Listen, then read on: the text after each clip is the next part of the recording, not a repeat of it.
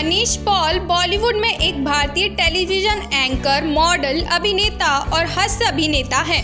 मनीष पॉल अंधेरी में जिम में नज़र आए। देखिए ये पूरा वीडियो।